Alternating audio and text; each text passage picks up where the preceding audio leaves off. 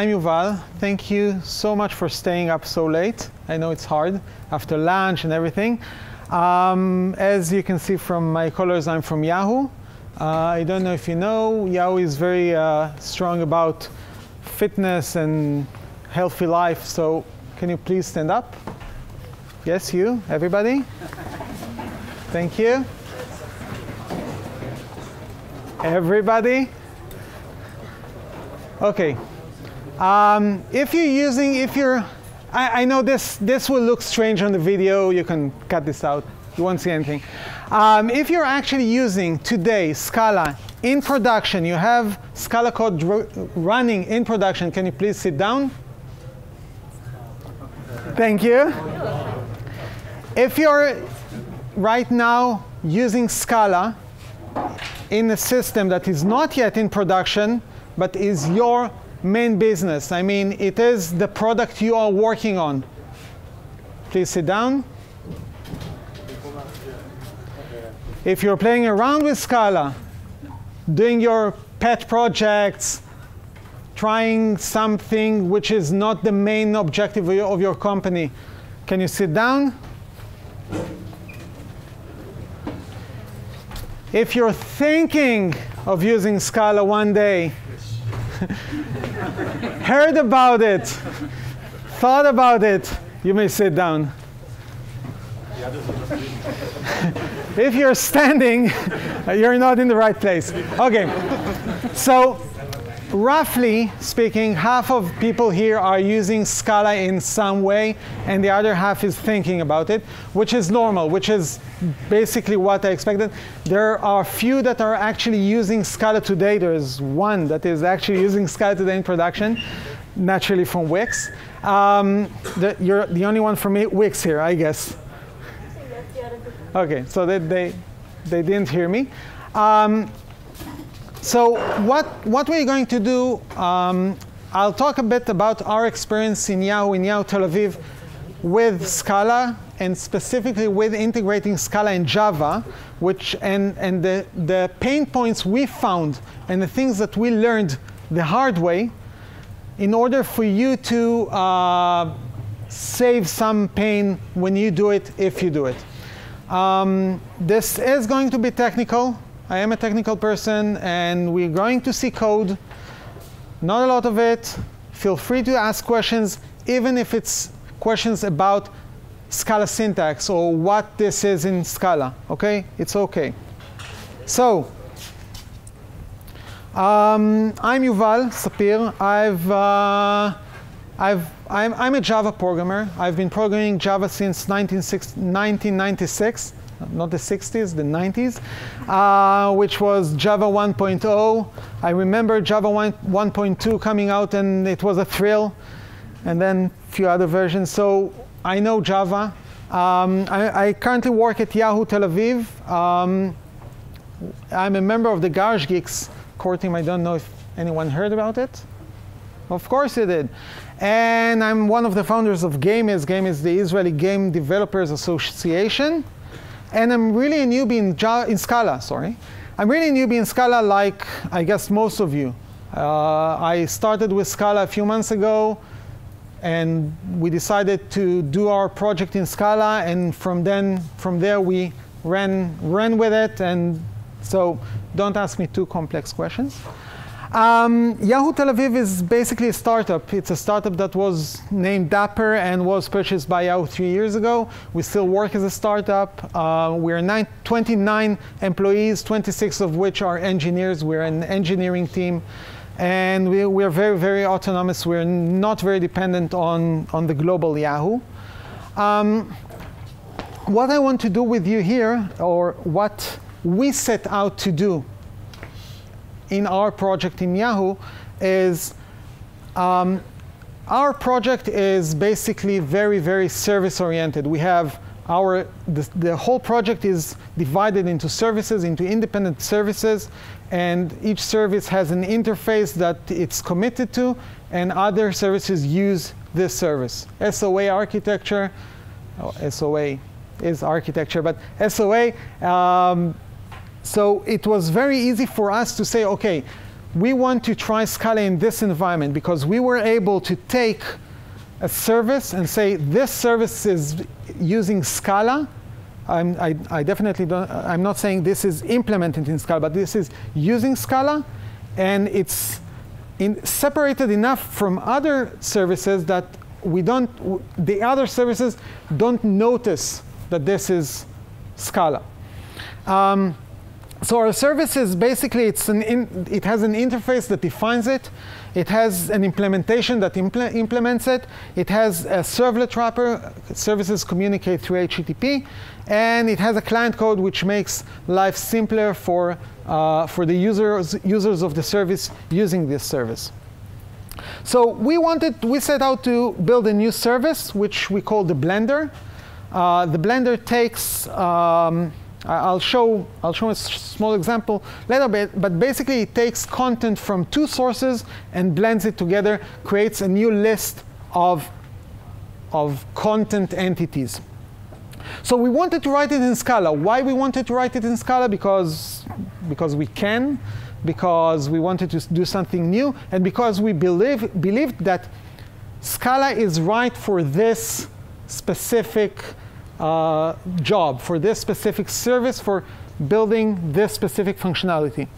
But we wanted to keep current architecture. We, don't, we didn't want to mix it with, uh, to, to re reinvent the whole thing. We don't, we don't want, um, being a large corporate American uh, and all bad things about it.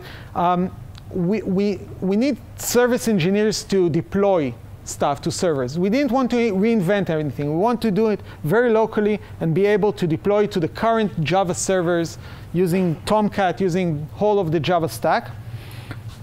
And we wanted it accessible from other services. So what this quite simple service does, it gets uh, lists of content, each content items. Each content item has its data and a score. But this score is relative to this list. So if I have two lists and I want to mix them or blend them, I have to look at each score relative to the other scores in that list. OK? That's the premise. I just want to make sure that this five and this five are different because this five is, in this case, the low, low end of this list, and here it's somewhere in the middle. OK? So we define a simple interface. It's called Blender. It has one method called blend. This is Java, in case you were wondering. Um, it, it, has, it has one method called blend, um, and, and which gets two collections of entities. An entity is a very, very simple abstract class, has an ID, has a score, can have, depending on the entity type, much more data than that. So first thing first, what environment did we use? What development environment did we use? We come from Java, we use Eclipse. So I don't know, I didn't ask how many of you are Java programmers, but how many of you are not Java programmers or do not know Java? OK. Um, so you know Eclipse, I guess. And Eclipse was a very easy choice because that's what we use today. And, and it's very easy to migrate from Java to Scala using Eclipse. So what uh, I, I guess you can't see it from there, but there's a small s here, which means this project is a Scala project. We just started a new Scala project, built two source directories, one for Scala, one for Java. You can see that they use, no, you can't see, but all the other can see that they use the same package, package names in Scala and Java. And this way, it's very, very easy for us to uh, use one code from the other interchangeably. Um, I'll try to.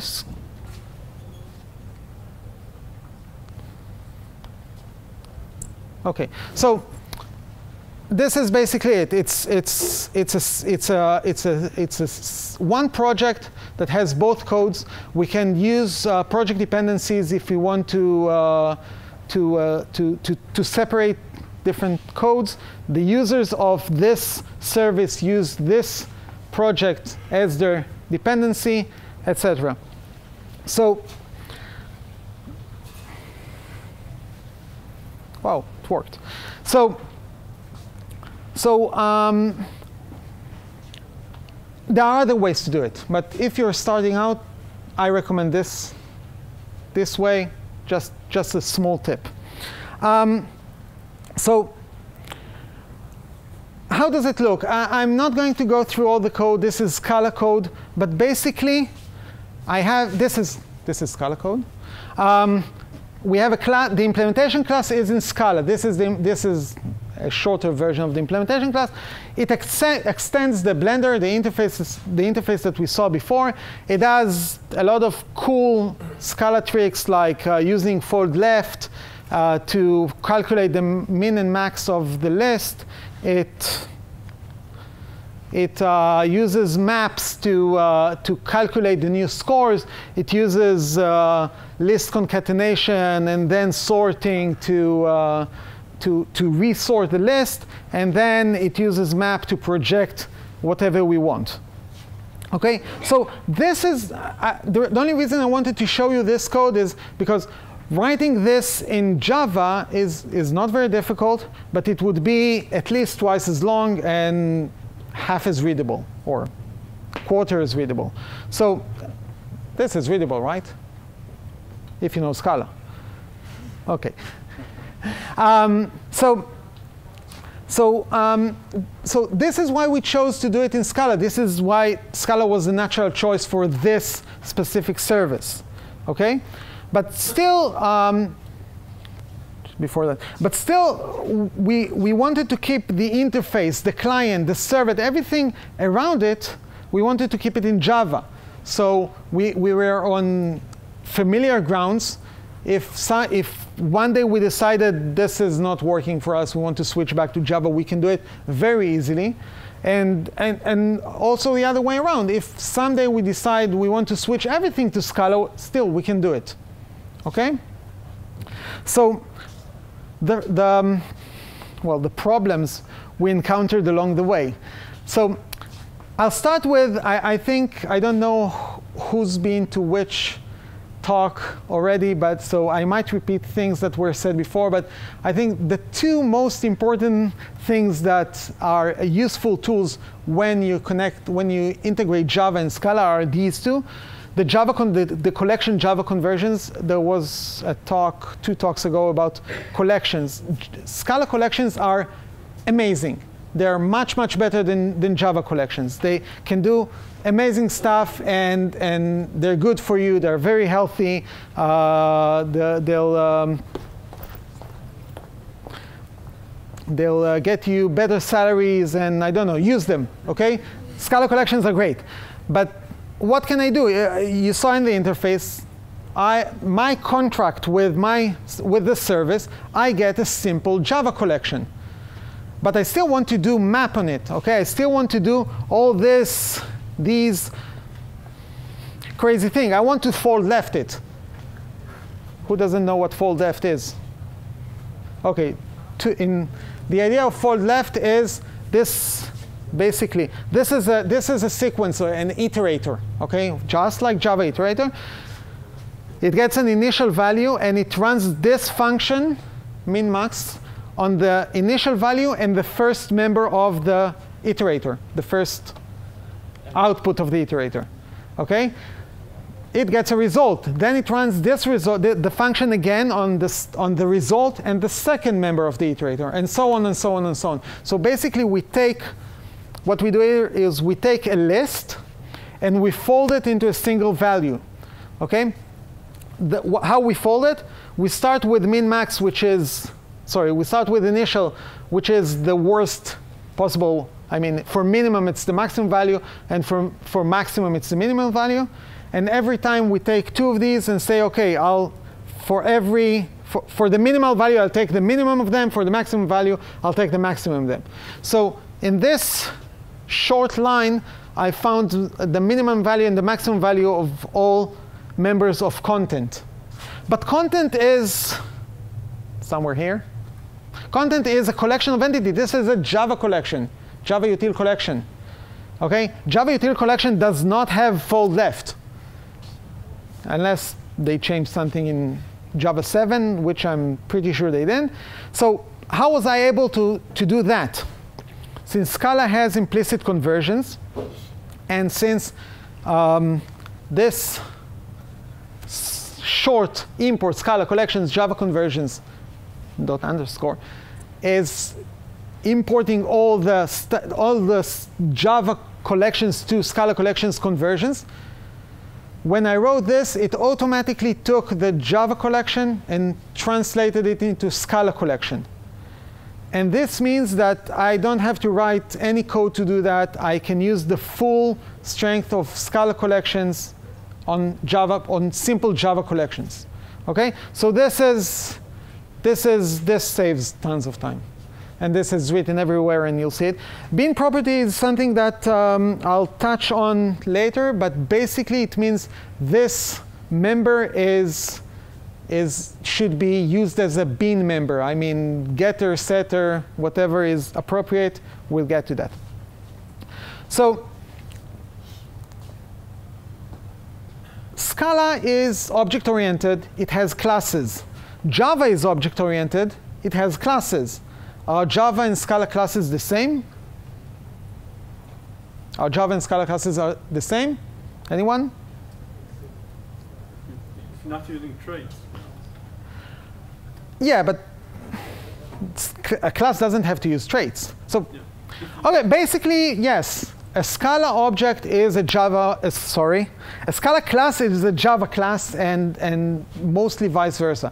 So um, when we write a class in, in Scala, we expect to be able to use this class the same way in Java. So if I have, and the other way around. So if I, I have a Java class, the, the, the, easy way to see if this is Java or Scala is if it has public in front of it, it's Java.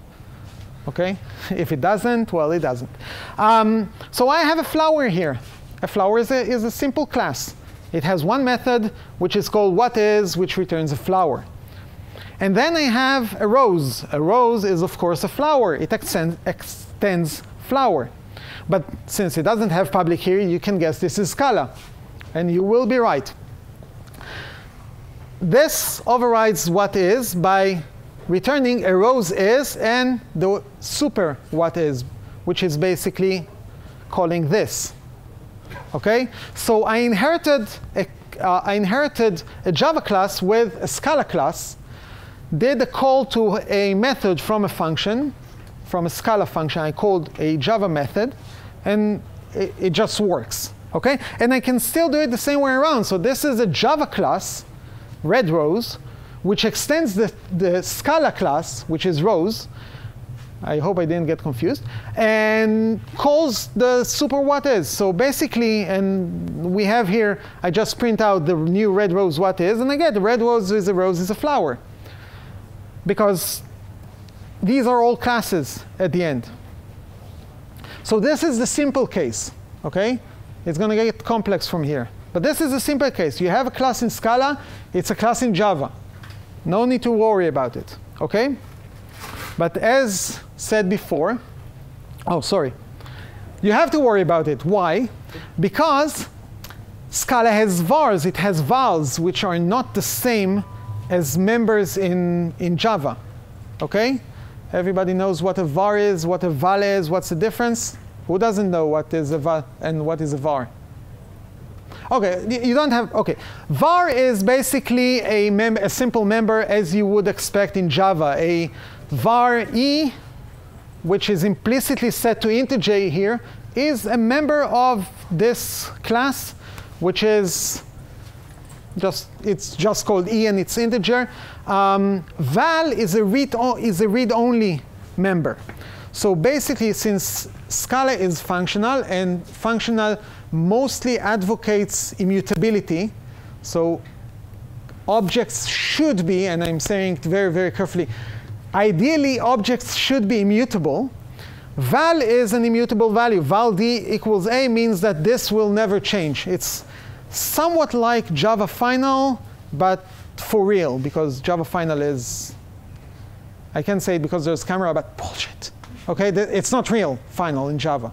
So in Scala, yes, this is, this is the real thing. And uh, it applies the same for, uh, for constructor arguments, okay? This is val b will create a member which is a val and it's automatically initialized from this b. So I have this class, this everything class that has from outside b, c, d, and e which are accessible. I can, I can read them from the outside. How do I read them in Java? Because if I'll try to, to do everything dot b, I'll, I'll get an error. Why? Because Scala translates everything to a function. Okay, there are no there are no publicly accessible members. Everything is accessible through, through functions or methods. So if I want to see this b in Java, this is Java, I have to call the function which is named b. Okay, I cannot do this b without that, that, would, that would be a compilation error. I have to call the function, which means that if b was defined as val, as you, can, you might remember, it has one function, b. But uh, c, which was defined as variable, which is mutable, has two functions. Sorry, c is a bad example, but e has two functions. E, which reads the e, and e underscore dollar sign EQ, which is very intuitive, the setter for E, okay? Uh, there is one way around it. As you can see, we've defined C as bean property. And as I said before, bean property means this is a bean, which means there are two additional functions that are generated, which are get C and set C, which are basically what you would expect from a bean. So this, sorry, this this unfortunate line, bean property var c equals 3, creates four functions. Okay? It creates the c, the c underscore dollar sign eq, get c and set c, everything. Okay? Which, is, which seems a bit over, but that's the way Scala is. And of course, it creates code that initializes it to 3 and, and everything else. So this is part of the standard the name of the function, or it can be changed in the future? Which one? The, this, the, the, no, the, the internal. Yeah. The, I. It's something that promised not to be changed, or it's. I, I, I, I don't know. I don't know. I can check that. I don't know. So this code will perform as expected. I'm creating this everything with one and two, and then I'm reading it and get, I'm getting the right values and everything is great. But this is a bit more difficult because using Java, I expect to be able to access members, and it's impossible from Scala. The other way around, it's easier because Scala compiler knows when you're accessing a member, it, it, knows in compile time whether it's an actual member of, or a Scala member, and then it has to access the function. So you'll see many times this presentation, moving from Java to Scala is significantly, accessing Java from Scala is significantly easier than the other way around, and that's, that could be expected. So we, we talked about, before that, because you saw the answer, uh, we, we talked about uh, we talked about classes, uh, and as said, classes can have traits. Uh, who doesn't know what, what a trait is? Okay. Um, basically, a trait is some kind of behavior that you can mix into a class. I'm, for example, uh, you can define a, a certain behavior which is a set of functions and mix it into an, either an existing class by subclassing it or to a new class by defining it as extending or mixing in this, this, uh, this behavior, which is, which when you think of it is not very different from an abstract class because it has a definition of functions. Some of them may be abstract, abstract some of them are not. So you would have expected, or at least I expected, that it would be implemented in Scala as an abstract class. What's the problem with that? multiple inheritance. Java does not support multiple inheritance, but you can mix in as many traits as you'd like. So the solution for that is that basically tra traits are interfaces. But they're interfaces with, with a kick, with additional pepper. Uh, so if I have this sample trait, which is defines two functions, the first one is simple function, which is in, which returns an integer, okay, and the second one is also it's it's a very simple function, but this one has a body, okay. This this this line would basically be translated to Java as uh, int with body, uh, empty empty parentheses open curly braces, return 3, close curly braces. Yes, this is why Scala saves you all the boilerplate, because this is shorter. So, but this is, this is basically the body of the function. But if this is an interface, where the, does this go to? Um, of course, the answer is it goes into a, uh, another class. A trait creates up to two classes.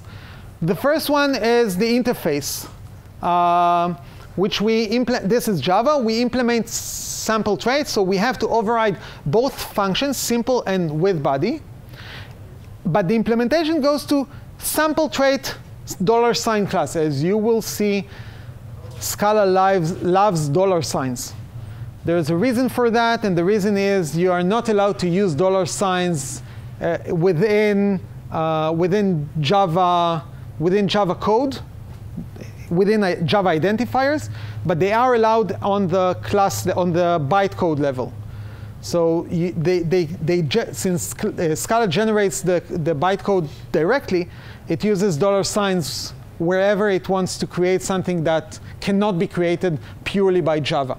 So sample traits dollar sign class will hold the actual body of the function. So I can uh, what I did here is basically I mixed in this trait in Java.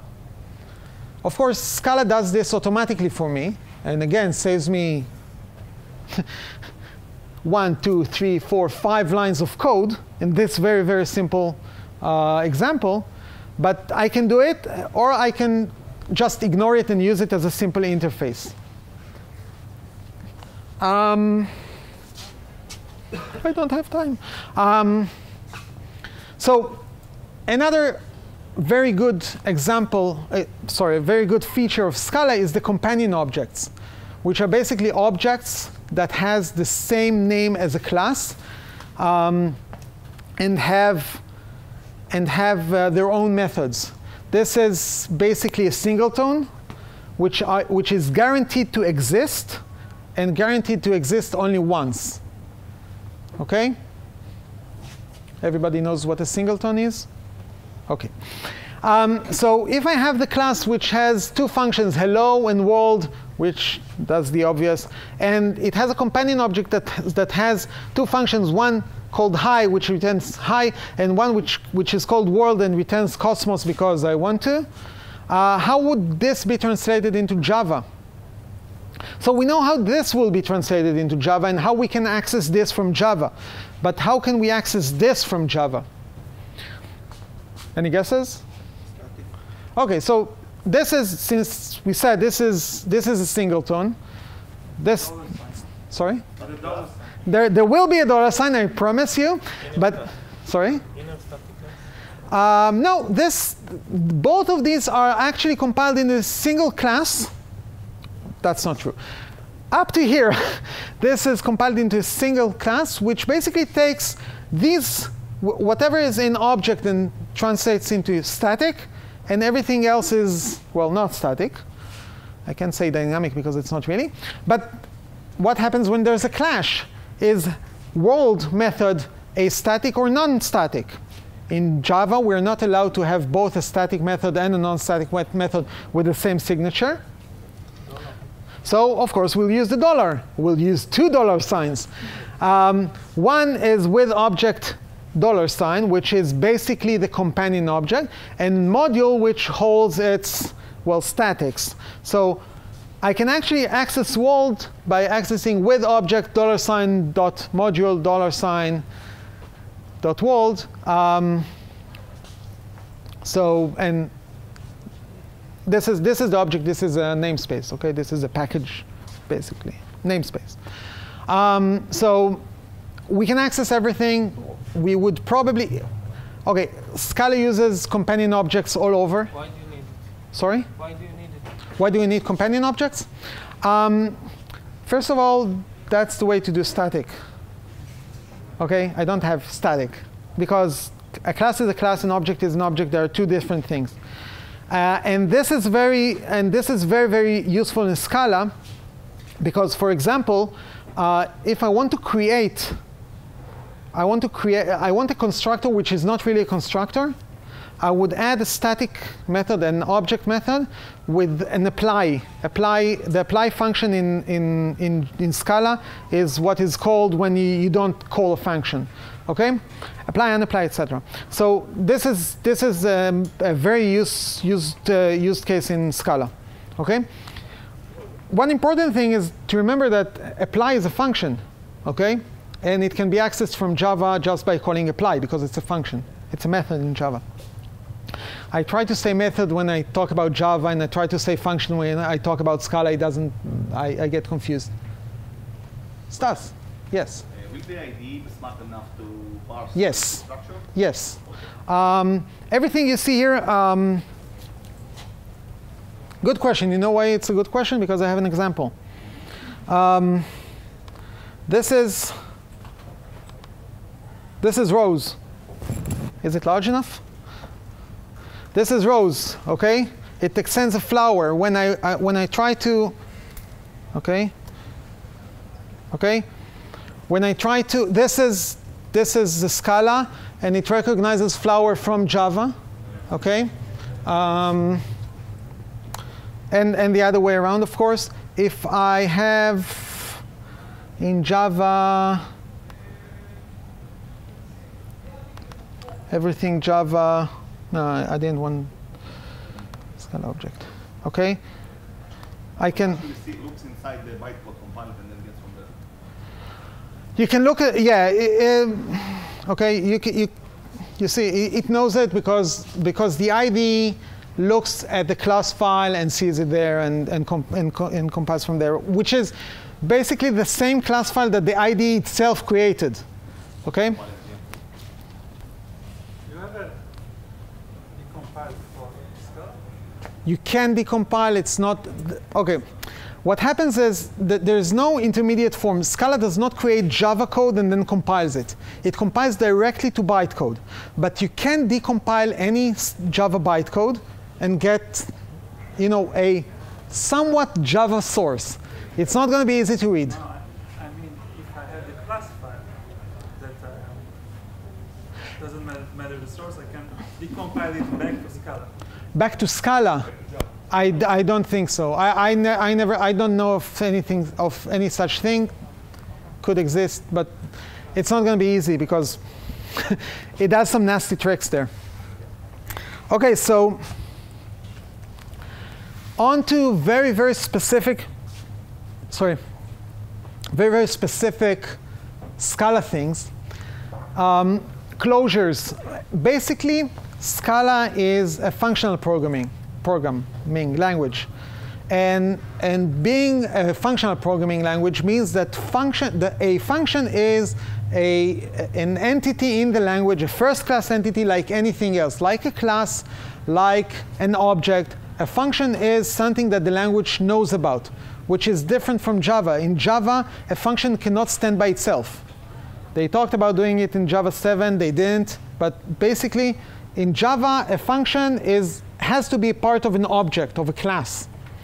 In Scala, that's not like this. That, it's not like this. I, I have a class which gets a function, okay? And this function should be, I should be able to pass a function to, to this function, and so on and so on, because I, if I can pass a function to a function, I can pass a function to a function to a function and never get over with the enjoyment of it. Um, so if I have something like that, how do I call it from Java? basically, what happens here is what's passed here is something called function 1. Function 1 because it has one argument. Okay, there's function 0, there's function 1, there's function 2, 3, 4, 5, up to function 22. If you need a function that gets more than 22 arguments, you're doing something wrong. Okay? I don't know why they went all the way up to 22, but you're doing something wrong, okay? So, and, and it won't compile in, in, in Scala. If you try to build a function with more than 22 arguments, it would break Scala and someone would come and yell at you for a good reason. So this is, function one is basically a template, uh, a generics class, which gets two argument, two type arguments, the return type and the type of the first argument. Of course, function 22 gets 23 type arguments, the return type, and then all the return types. And again, don't build functions with 22 arguments. Um, so what I do is I build a new abs uh, abstract function is something that implements function and does the obvious nothing. Um, but it requires the apply method. As I said, apply is the way that Scala calls the non-existing function. It calls the empty, empty named function. And I just do, do, my implementation here, and, and, and I can pass this, this, uh, this f, which I created. Now, f is not a class, f is an object. I have just created, okay, I've just created a new class and called its constructor implicitly in Java. And, um, well, not implicitly because I called it here um, and, and created this object. So this is a bit wasteful. And the Scala compiler does it a bit better, but really not that much better. So feel free to do this. But this gives you the feeling of using uh, functional programming without leaving the safety of Java. You can do this at home without Scala. Just pass functions to functions in Java and has, have tons of fun with it well, kind of tons of fun with it. Um, the same goes to pairs. I'm not sure I have, no, I don't have an example here, but there's a pair or any kind of tuple uh, uh, has, again, as the same way we have function 1, function 2, we have tuple 2, tuple 3, tuple 4. I'm, I think up to tuple 22, I'm not sure. Um, and again, if you get this far, don't. Um, which is a template class in, uh, sorry, a generics, generics class in Java, which you can initi initialize and pass to whatever expects a tuple in Scala. Um, and if we talked about generics, uh, I think someone said before that uh, generics in Java and generics in Scala are the same. The only difference is, you said before that the only difference is uh, curly brackets and, uh, no, not curly, uh, um, triangular brackets and uh, square. square. brackets. Okay. so yeah, this is, this is a difference, but, but supposedly, uh, Scala generics are much, much stronger than, um, than, than, than Java. Uh, the main reason for that my opinion, is uh, covariance and contravariance, which I, will assume someone here didn't, doesn't know what it is, but basically, in Java, if you have a list of class A, list A, haha. I have two classes A and B. B inherits from A. I have list of A and list of B. Which one inherits from which, from whom? No one. There's no inheritance relation in Java. Um, which means that if I have I have a function that gets list of A and I want to pass a list of B. In, in functions, you, you have a way around it, but I have a variable that is a list of A and I want to pass it a list of B, I basically will have to, well, coerce it on the system and I'm using very, very mild words. In Scala, that's not the way it is because because of covariance and contravariance, I can define that if A inherits from B, then list of B sorry, if B inherits from A, list of B inherits from list of A. Okay, this is a very very powerful mechanism, which is does not exist in Java. So how does it work? Um, the sad story is that, or the sad fact is that everything you write about types in generics in Java get erased once you compile. The compiled code does not know anything about generics, okay? Which is, well, that's the way life is. Uh, the reason for it in Java is that when Java was written originally, there, were, there was no generics, and when they added it, they didn't want to change the virtual machine. So the virtual machine does not know about generics, and the only one that knows about generics is the compiler.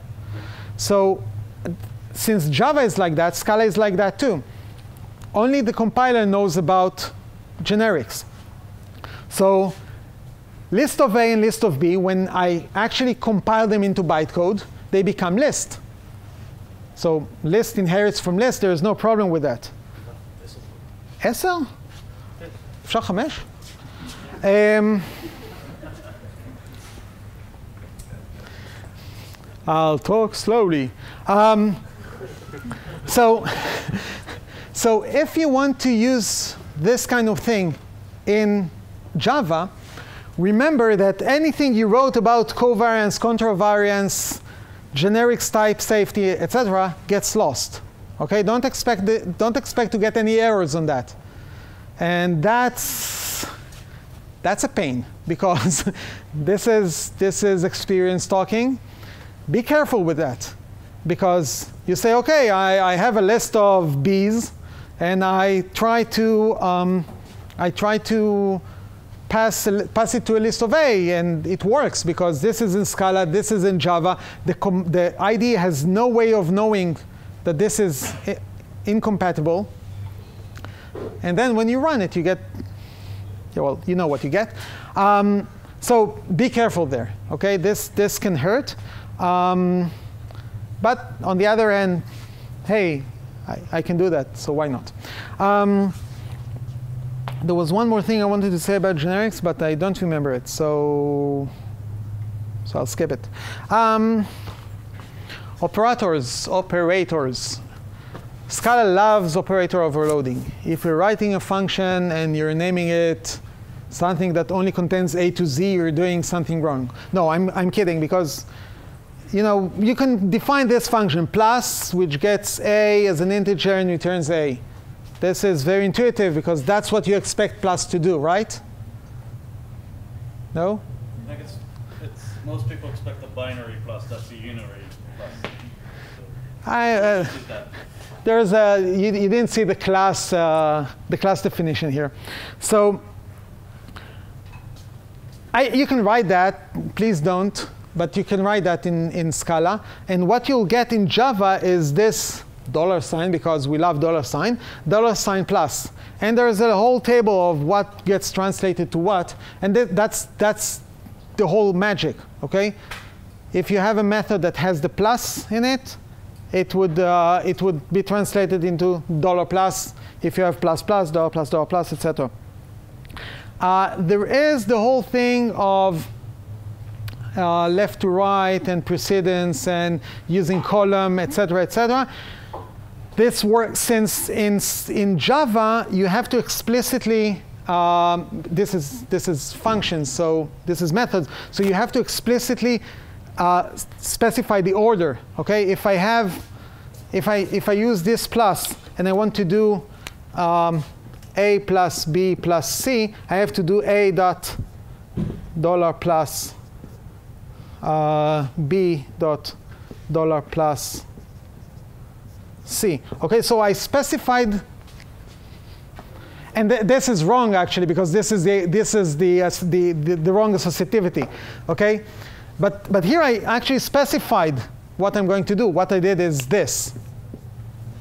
Okay, this is you understand this? Okay, so in Scala when you, you when you use when you use right associativity, and and the compiler knows itself to to build the right order. So again, this is solved by the by the compiler. But if you want to do it yourself, you have to be careful about that because, okay, who thought that I should write it the other way around when I wrote this? Okay, i- it's. Why didn't you say anything? Okay, and uh, so the, this is confusing and this is counterintuitive, and especially if you mix in different associativities, this is fun, different kind of fun. Question on operators. Sure. Is it possible to uh, overload the assignment operator? A. Assignment operator. Is it possible to override it? Um, Copy constructor is No, no, it's not. no, you, you basically you cannot. It's it's it gets translated by the compiler to something which is not simply a function call. Okay, so so the, basically in Scala there is no such thing. Okay, there's the, You cannot, you cannot uh, define a, the equal sign as a function. The equal sign, no, you cannot define the equal sign. And if you try to define something like uh, plus equals, you, you'll get something which is, which is not what you expected. Okay, so um, Why you don't have, uh, let's say, i plus plus? Like, in uh, C++, like in Java, you can increment uh, uh, integer, y- but yeah, because it's not Uh, uh, yeah, one it's way. right. And and truly in functional programming, when you say you want to increment something, you don't want to increment it. You want to return the next value, which is basically i plus one, okay? Because because it's an immutable. It's it's preferred immutable, okay? So this kind of philosophy solves the problem by saying we don't want to do that, okay? And and actually, you really don't want to do that because you don't want to. Um, okay, so um, that's basically it. I, I just want to go back to the example. Um, somewhere here.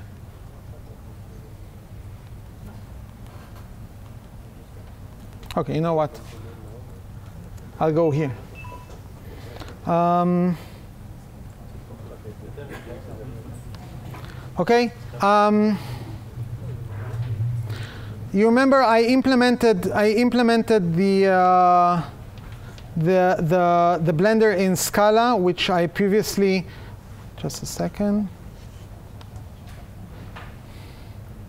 No. Um, which I previously defined the interface for in Java and, and use all these fold left, uh, maps, etc. And then what I did is I wrapped it back in Java by using a REST service. Well, I, it's a bit commented out, but basically it's a REST service. Uh, it's using uh, Jackson specifically, uh, and, and defining it as a web service which is, again, I could do this in Scala, but I'm used to doing it in Java. I have the tools to do it in Java. Maybe I do it automatically in Java today, so why not? And I just create a, a implementa an implementation, and whenever I get a call to blend, I pass, I pass the call to the uh, Scala implementation. Okay? And this code can be and usually is automatically generated in Java, um, minus the commenting out.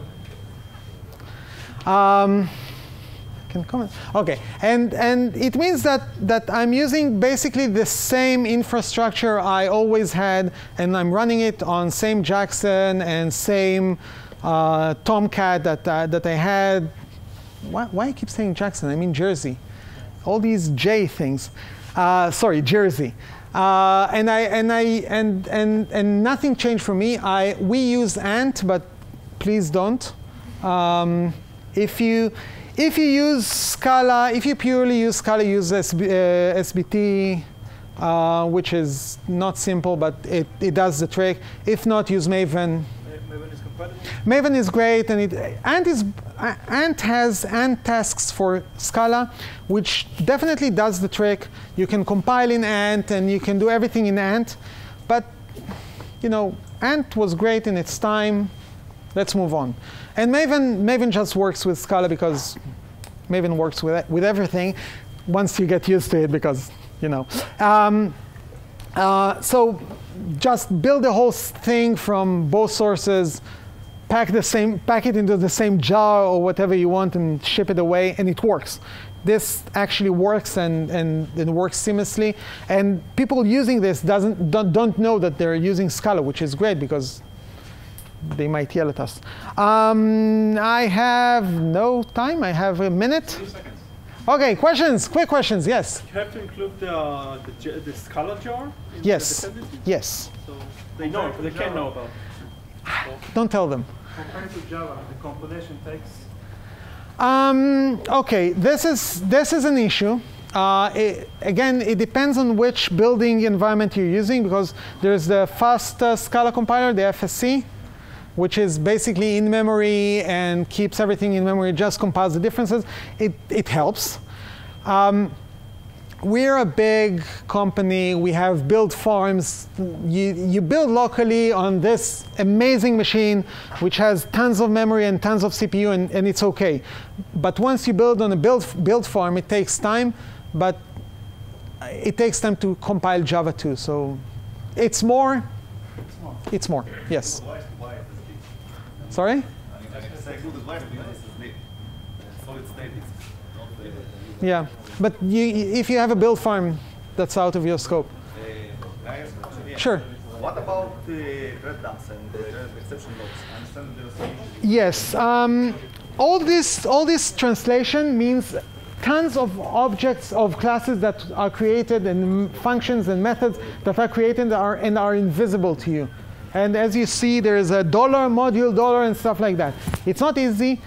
Eclipse does a bad, quite bad uh, use of it. And uh, if this this is an issue with an, with Eclipse right now, IntelliJ does better job at hiding unnecessary things from you. Still not perfect, but uh, but it's an issue. I, I I have to say it's an issue.